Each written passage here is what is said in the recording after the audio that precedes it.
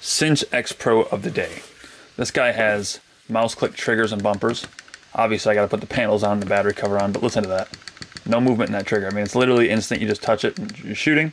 Has holochrome ABXY blue uh, swappable thumbsticks with our new mechanism so it doesn't just fly off. You know, you can kind of put on there one way and then it's on there, it's on there good. So I love the dome stick on the right, the taller stick, and the shorter on the left. Better verticality when you're aiming and tighter movement. So you don't need to move this one too much, but uh, this one is better to have a little more leverage there. Especially with Halo Infinite out, makes a big difference when you're aiming and shooting quickly.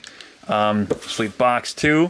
But yeah, you want to get that Infinite, you want to be Onyx and Infinite. Um, definitely recommend this controller. Cinch X Pro available now, and they uh, work on PC, Xbox One, and Xbox Series S.